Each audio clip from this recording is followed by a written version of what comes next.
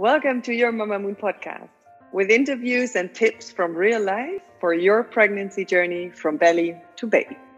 We are Tessa and Nina, and we are passionate about motherhood. Our goal is to give you tools towards a beautiful and empowering experience during labor and a smooth entry into life as a mom. Hey everyone, welcome to another episode of the Mamamoon podcast. We're really, really, really excited and happy to have Johanna and Attila and little Oscar with us today. Um, Johanna and Attila joined us in October last year, so October 2020, for our Mamamoon full weekend retreat uh, in Germany, close to Berlin.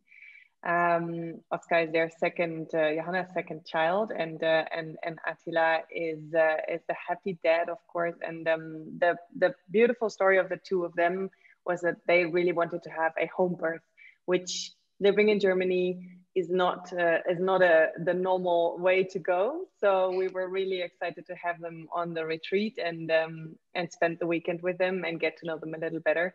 And in the end, um, the home birth uh, happened uh, in Germany, and we're really excited that they have um, they've agreed to share their both birth story with us today, uh, just to help and inspire inspire everyone. So um, we'll dive right in uh, if you like this episode, make sure that you you comment, you like, you share, you share, especially with moms to be that need to hear positive birth stories. Um, but for now, let's just uh, dive right in and hear how uh, little Oscar saw the light of this world. Welcome, Johanna and Attila. Great to have you here. Thanks for joining us. Um, maybe do you want to um, do you want to add a little bit up to that intro, short intro that I just did? Do you want to tell a little bit about yourselves? Yeah. Uh, I am Attila. I'm 26 years old, and at the moment I study psychology, um, more or less. Like uh, before Oscar came, I studied a bit more. Now a bit less. um, yeah, Oscar is my first baby, and uh, Johanna brought another girl to our relationship. Yeah, my name is Anna. Uh, I'm 38 years old now. and um, I'm uh, working as a digital um, expert, a transformer at Deutsche Telekom, currently on maternity leave, of course. And uh, Oscar is my second baby, my first, first boy, boy. As Attila told, we have a, another um, girl, Ona. She's two and a half years now. And yeah, uh, I was a single mom with her, and then we met Attila and Dali, his dog, our dog now. so now we are really, yeah, happy family. Yeah. Beautiful. Beautiful. And so before, I, I know that uh, we are all eager to hear li- about um, uh, the birth, but I actually also wanted to ask a bit about your pregnancy. So is there, uh, how, how was it for you? Was it, uh, how was your pregnancy? Was there anything special other than global pandemic?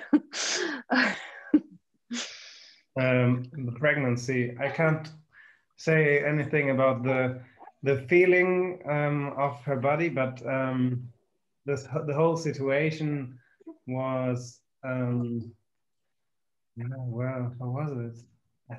For me, it was the first time, so it was everything very exciting I was uh, very interested on in all the topic in general, like uh, how how he's de developing and what are the biological things happening, and especially labor and all that kind of stuff was really interesting for me. Um, I'm really impressed about uh, the whole thing, how it works, how biology made it possible. Like it's it's really uh, it's really impressive. Uh, I'm still like uh, really impressed. Cool. To, to, draw a human being. Yeah, really. Like, it's it's kind of surreal, no? Yeah, yeah. Yeah, for yeah, me, totally it was the second time being pregnant. Um, and uh, there was a difference to the first pregnancy because um, when I was pregnant with my with my daughter, I was doing a lot of sports before, and I was like very I don't know sporty and fit, and uh, it, I wasn't um, way back where I was before the pregnancy. Mm. So I really felt more tired and was I don't know exhausted a lot of times, and I didn't get that that much sleep. So uh, when I mm. was uh, pregnant without a, a, toddler on my side, it was like, okay, I'm tired, so I sleep. Mm. And the time it was completely different because you have to take care of someone else. Yeah. Yeah. But I enjoyed yeah. it anyway. There was not so many things that were, I don't know, um, hard to do. It was just I was more tired. Mm-hmm and of course it was really cute as well when when I she she became interested into the big belly and asking what's in there and it's your brother. And he was she was like I'm, I'm, i want to uh, cuddle with my brother. And it's it was really cute. Yeah and she she was we're asking other people with a bigger belly do you have a brother inside? So, it, was, it, was, it was really uh, funny and cute so sweet. It's so funny to see how they get interested and how they then perceive the whole process of uh, of growing that yeah. little, yeah, little sibling. Amazing. What I think what impressed us a lot when you came to the full weekend retreat in October was how much you were both of you really invested in preparing for for birth and preparing for postpartum um, and Johanna, you had done a lot of uh, a lot of things already, um, and you were really because probably also because you wanted to have this home birth, you were really intensely preparing. Can you share a little bit what the things were that you did during your pregnancy that helped you prepare, like in terms of physical exercise, but also in terms of other preparation? Yeah, um, I more or less did the same I did with the first pregnancy but uh, that time uh, I didn't know about Mamamoon, so this was a new uh, part of the game. Um, but I did a lot of uh, um, prenatal yoga um, and yeah, more or less other sports, but not that much. Um, and of course, it was special because this time there would be a daddy around. So it was completely different for um, for me. Uh, so what was interesting for me, or what I wanted to focus on when I came to Mamamoon, was um, how can I share all these things with Attila and do not, I don't know, um, treat him like I know everything better because I've done it before. So it, mm. it was more, how can we um, yeah win as a as a as a team and not as i don't know single players. Beautiful. And yeah and it's i mean the role of a, of having a partner around is yeah it's also so so supportive during the whole process whether it's pregnancy or labor postpartum so super special. Um about the birth. So I'm, I'm, you know, that I'm just sitting here and like super curious. How did it start? No, did you have like a massage or like a big water splash or? you know? oh, so, I begin and then I, I hand okay. over to Attila because then I need to, uh, uh, yeah, uh, go on because he had to to leave the room. but um, it was different because my my uh, daughter came 12 days early. Mm. so uh, and oscar was five days overdue. Yeah. But um, i was like really impatient and nervous. And i i was i don't know done with pregnancy. I didn't enjoy it that much. But just the last two weeks I yeah belly was really big. She couldn't, couldn't move, move, anymore. She, she was like uh, but i did a lot of yoga. It was not that i couldn't move but it was not fun moving. yeah exactly. And it was all like here and there aching and yeah. it was she she started to get annoyed yeah. by the belly. And she was like oscar i couldn't sleep well um and i don't know was yeah. Yeah. She just started to get annoyed like. And uh, i think on on that day during the day we were outside and like almost every day because one dog one toddler so every time every day in the afternoon you're outside. And then we came back home and everything was just a normal day. And when una was sleeping already we were like okay how could we uh, get that thing going? Like and then we started googling um, for workouts to induce labor. Yoga. Yeah yoga workouts inducing labor and stuff like that. And then we we found a video on youtube like 20 minutes because 20, i was yes. sick doing the 90 minutes of my yoga teacher. Yes it was just too long and she was like she wants to do something short. And we found that this looked something we she could do and uh, she did it and like the already in the last two minutes of that workout she started like uh, ah, i've got some pain and maybe it was too much. And then like after five minutes the pain started again and five minutes later it started again and we started to track the times and we were like oh it's actually really um, like regular. regular and uh, we thought we waited like one hour and observed it and then we were like okay i think it could be starting now. And then we were plan we had a lot of plans like we we gonna uh, when it starts like last time with her first baby it was it took her 24 hours. And we were expecting it wouldn't be that long this time but we didn't expect Maybe it six or eight yeah, hours i yeah. don't know a lot of time. And so we, we were like, okay, maybe we cook something and uh, we, we, we, go, we go for a walk or something like that. And uh, we called her mom that she comes because Ona was in the sleeping as well. So if, in case she wakes up or whatever, that there's someone else as well.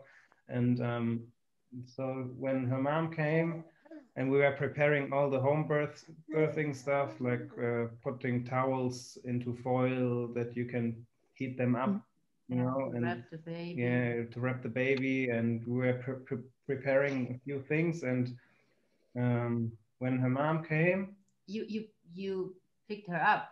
Um, no? no she came she but came she, out she didn't taxi, she yeah. didn't she didn't ring the bell. So i i went downstairs and uh, picked her up and uh, when she came, I brought our dog to my parents because we just felt more comfortable when he's not here. Maybe I don't know if he becomes worried or I don't know what happens. We had the same plan for Una, but she was sleeping since seven and yeah. uh, at nine it started. started. At nine, so the idea was that she went around, but yeah, but she was there and it just happened everything so quickly actually, and uh, I brought him away, came back. Maybe I think it was around 10, 11, I'm not sure anymore. And uh, she was standing in the bathroom already, like at the um, at the at the radiator, holding herself and like screaming already. I was like, "Oh, what happened here in that short time?" And uh, she was like, call. It, it our... was around half past 12, so half past midnight at that point. And she was like, call the midwife. I was like, oh yeah, you look like we should call her. And then uh, I, I called her and it was, what time was it? Half past, yeah, oh, half past 12. So, and I called her. Yeah, I think. All right. was there half an hour later. So it was uh, yeah, you see, I, I can't really, uh, I don't remember the times. It was really quick, everything. We were expecting we will have a lot of time and we do this and that and we do some, you know, what, what we saw here and what we, yeah, the, what we read there. yeah, we had what I mo most liked in the in the Mamamoon retreat was the idea to have this labor circle that you can do this and that and relax and do some massage and watch watch us video, whatever. So you have things to do while you wait or while you, I don't mm. know, breathe. Because last time with my first baby, it was a, I don't know, long period of time to, I don't know, do something. This time it was completely different. The first contractions I recognized around one, uh, no, nine o'clock, yeah. nine o'clock. and we waited until I don't know 11. Then I called my mom. Then I was sure, okay, there is something going on. This is not like I don't know I had before some uh, belly pain in the morning, and half an hour later it was over. So I really felt, okay, maybe this could be the thing. But I expected, I don't know, uh, Oscar coming in the morning. I don't know. Um, but uh, our midwife Iris um, told us if it starts in the evening, don't call me. I want to sleep Yes. because she had a lot of uh, home birth dates this um, yeah around this time. yes. So I was yeah talking to Attila. Yeah, Iris said we shouldn't call her when it starts in the evening. So let's wait. But then my mom came. I called her around eleven Yeah. because and then I was sure it's starting, and I was. Um, yeah, I, I had some concerns because Una were here. She was not with her father. Um, so someone needs to take care of her.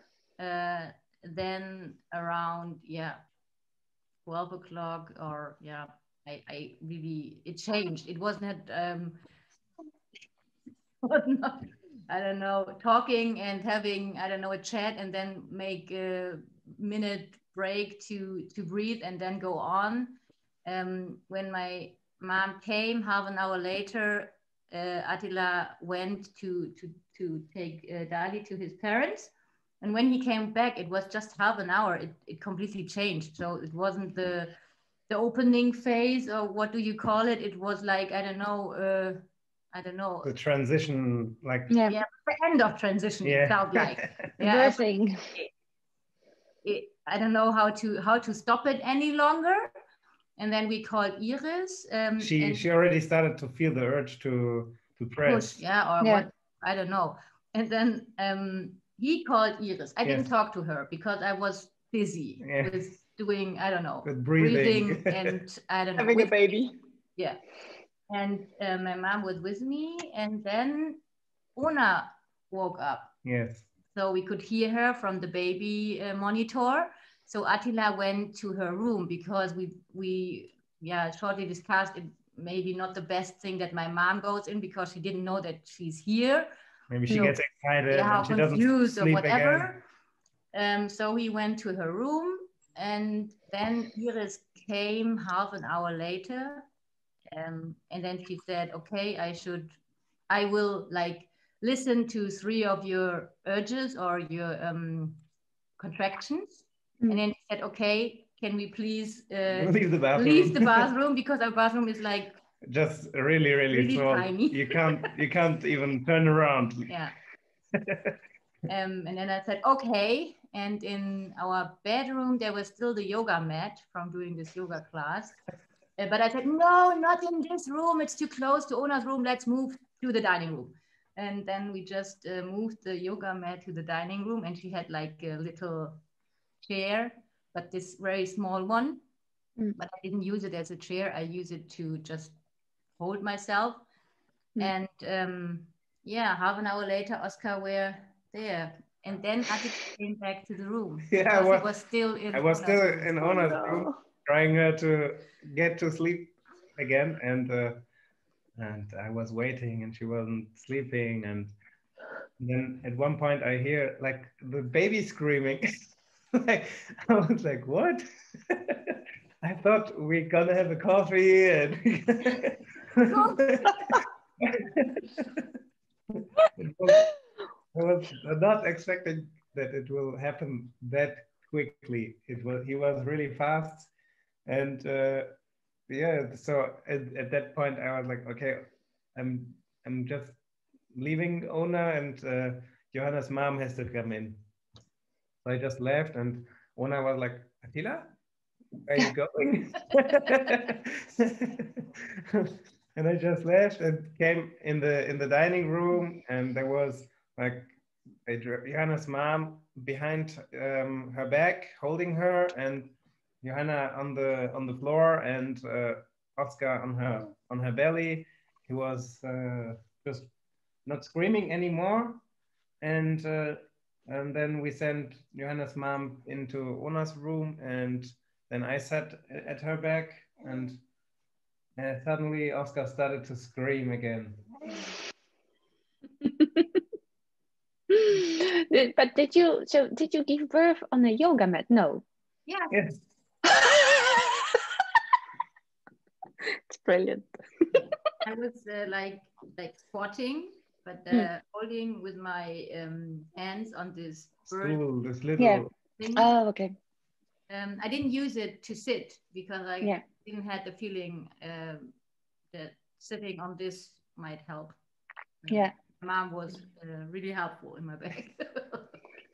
It's, uh, we just had this this podcast episode about practical tips how to prepare your home birth environment with the you know really nothing that it doesn't sound like you had a lot of time to prepare everything No. that you wanted to prepare Yeah, we were like, well, we do some stations here and there and put some post-its on the walls and Drink water, go to the toilet. yes, but Mm. no plans. none of that perfect so when you look back at you know that birth happening so quickly and so unexpected in many stages and phases are there things that you say that helped me a lot i could i could use that something that really worked well even though the whole preparation that you initially wanted to do sort of fell through the cracks Yeah. Mm, compared to giving birth in a hospital, I, I hadn't a bad experience or anything like that. But I think um, I was really relaxed because I was at home. That helped a lot. So Mm. if you are confident and have like um, the feeling this is a natural thing to do, I could recommend especially to to moms uh, for the second birth to do it at home. Yeah, and I think it's also um, if there was because you um, you also described when we met in October that it was not um, not so straightforward to organize a home birth as well, right? So you you do need to like let's say if there would be like any shadow of doubt or whatever you about yourself or the baby that and then you you need that support on the side and i think it's here also is he talking yeah so cute. It's good. So now oscar is replying. So oscar so how was it for you?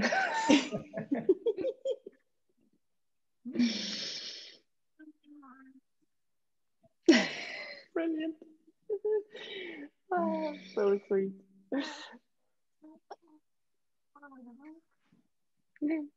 All right. very good i've completely forgot what i was saying so Yeah, Yeah. yeah. under Oscar spell, everybody just uh, watches him. yeah this definitely is a podcast episode to watch on YouTube instead of on Spotify. yeah totally so how were because how how were then the first weeks so if you think let's say about the home birth and we know already super chill baby how how how how how it's been going and maybe any anything that um that surprised you in a good way or in a in a in a way that you would change you know share share the wisdom with some other moms out there some other parents out there Yeah, I um, had the plan to really enjoy, uh, do you say childbed or postpartum or whatever? Because in the first time there wasn't really the chance to do so, but this time I really did nothing like in the in the uh, household things, but there was Ona, so I felt so comfortable not to do anything with her. Mm. so this was really what was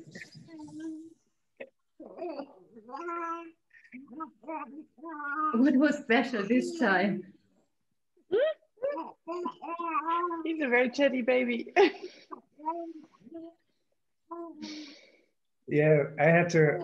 I, I was like spending all the time with Ona actually, like because there was no uh, daycare because of the pandemic, and uh, so that was actually it made it quite difficult because uh, she's just two and a half years and she's like she needs all the time the a different care than a than a four years old child yeah you know and um, i think that was a bit dif- difficult she was bored and she started to i don't know like she really needed to be entertained Yeah. and uh, She needed focus, and Yeah. my mom was there a lot of times, and especially in the first two weeks. Um, and then we really had to do like um, a new transition phase to the to the daycare again because Yeah. we weren't there Mm. for six weeks or something like that. So and was, uh, at home everything has changed as well she was like she doesn't want to go there anymore Mm. Wants to be at home she wants to be with oscar and uh, it was a bit difficult like it's the transition phase again. And yeah i think we you you did the transition phase and uh, i think after three weeks um yeah after birth three weeks after birth. Yeah, she went there again. So um, yeah, could focus a little bit more on Oscar, but he's a really relaxed and happy baby. So he was, I don't know, sleeping in his basket on the Mm. sofa, uh, on our chest, in our arms. So he was really You didn't need to carry him all the time. No. You know, he's really like you he can was if not he's crying. no seldom that he cries. Like, uh, I think it's such a Chatting, yeah. not crying. it's it's also such a difficult situation right to have a child in the pandemic especially when you have a toddler around. There's so much going on for everyone. It's uh, it's really challenging. So i can only imagine that that puts some extra pressure on on everyone. Yeah. how is your how's your healing going? How did you recover from birth johanna? How did you take some you know did you did you do something special? How did you did you Mm. do any self-care how No, did you beginning it was hard not to sit or stand, of course, because of Mm. Una. Mm. Um, but the yeah first two weeks I really felt weak. I didn't have this feeling in the the first time with Una. Um, so it was really different. I think maybe because it was a very fast labor, maybe that's also a, yeah, a reason. I don't know. Mm. Um, but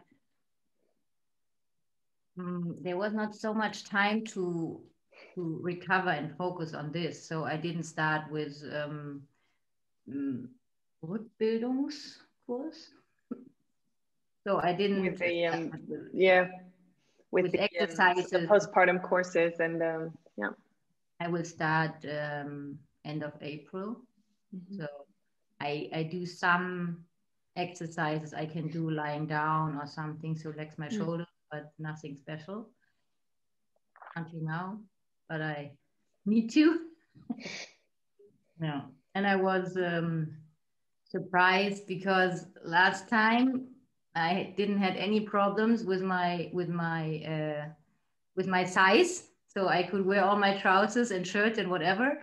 And this time it took a little bit longer. I was surprised because I didn't have the feeling that this will be a problem. Yeah, but now yeah, I'm I'm I'm fine. In the beginning, it really was the first two weeks. I didn't feel so good. Yeah, but you were like you were just she was sleeping and relaxing and uh, she wasn't doing anything like I tried to do everything and her mom was here around a lot and you Yeah. you had you you got some time just to recover I think right Yeah, and we had friends and family cooking dinner for Yeah. us, so they were very yeah they brought us food and it was it was nice yeah. Yeah. Super helpful. I actually heard about this concept of like a food train that your friends, you know, they kind of like set up like which days and and Yes, then they yes. they bring on certain days the the food and it's brilliant. Yeah, yeah. Yeah, as well yeah yeah. Very cool. And um, so if you if you look back at the, at the whole experience, pregnancy, labor, the first weeks, um, we always like to ask uh, here about the let's call it a golden tip. If there was like this one thing, can be more, and can be also one one of each. So one from uh, Johanna, one from Attila, and one from Oscar, since he's very chatty. if uh, what, what would you share with with other parents expecting out there? And um, yeah. The golden tip. The golden tip. I, I, I can just only uh, tell or recommend everyone to prepare like mm. um, i'm wondering like i'm really i can't uh, believe sometimes how less people, uh, families are prepared. They don't know anything about the, the labor process itself, the like anything. They don't. I don't know. It's like they don't care. I, I have the feeling like most of the dog owners are more prepared about the dog handling than um, than uh, uh, future parents about the labor process and everything.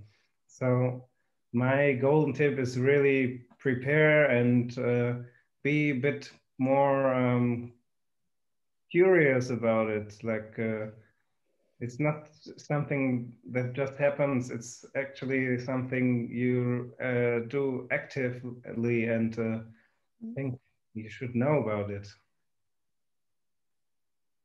Yeah, yeah. I can uh, just uh, yeah um, prove that. But um, for me, as doing the labor or being part of the labor, I can also say that you you you don't it's it's best you don't be afraid and you you really um, need to be relaxed.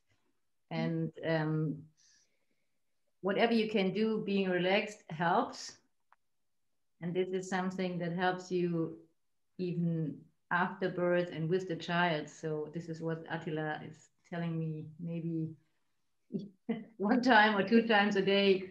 Relax. relax. now, two days ago, Ona started to tell me, entspann dich. like, Mom, this, this you relax, I'm gonna do that. you are such a brilliant family. I really want to have a camera in your house all the time. brilliant. And again, I, I, think if you're prepared well and if you um, if you become confident because you know what's going to happen, you you will be relaxed or more relaxed, and you won't be that afraid then or become overwhelmed uh, at one point. I think it does a lot. Yeah.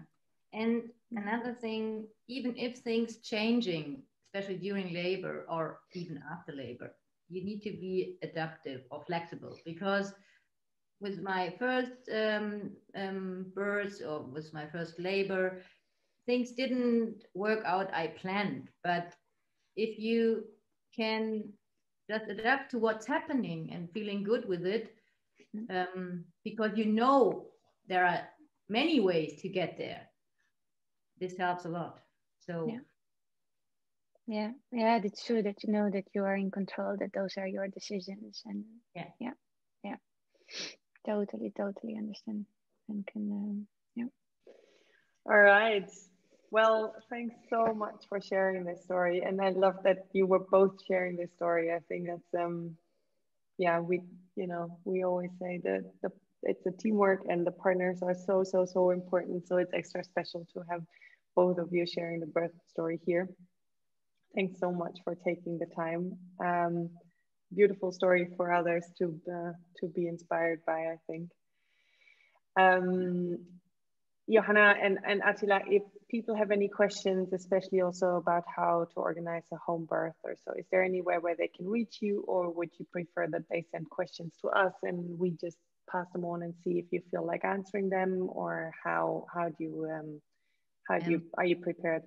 I don't know how you distribute it, but if you do it on like Instagram, you can tag me or both of us. Yeah. That's yeah. fine. And um, just to mention it here, there's no such big organization for doing home birth. You need some mm. towels and maybe I don't know a, a, a Pezzi ball or some some equipment. But this is really just a tiny know, thing. Tiny yeah. thing, but it's really being prepared with yourself and yeah. confident with yourself. Yeah. I think as well the hardest thing in Germany is to find a midwife yeah. to to have one who offers that uh, to have yeah. a home home birth because and have a free has free slot. Yeah, it's really yeah, it's crazy. They booked out ten months ago uh, before. Like, yeah. how do you know ten months before you have a baby? yeah, yeah, it's true. It's very, it's very, very hard. I think I called 12 or 15 midwives before I finally found one. And at that stage, I didn't even care if I liked her or not. I just, I was just happy that I had a midwife. It's like, yeah, we were, yeah. We, we were really lucky with ours. Yeah. Like, I called, Iris was my first choice, but yes. she said, sorry, I'm fully booked. Mm. Um, and then I really called everyone from the list we have here in this area, everyone. And I and it was like in week four. No, eight, but oh. anyway, it's still early. Yeah. Yeah. Yeah. Then... yeah. Perfect. We'll make sure that we um, we link your Instagram accounts as well, so that people, if they have any questions, um, can reach out or just simply shower you with a, a bit of love and appreciation. Thanks so much for being with us today. Um, really, really cool to hear your story and so nice to see little Oscar. So cool to see the three of you. Um, thanks for being with us. and um, we look forward to hearing how it's going on with you and, and what else happens and when the little one starts to walk, get the first pictures. Thanks so much for listening to our Mama podcast. We would love to see you again, so make sure to subscribe so you don't miss any new episodes. Also, for more information and to stay up to date, check our website mamamoon.me and our Instagram and Facebook.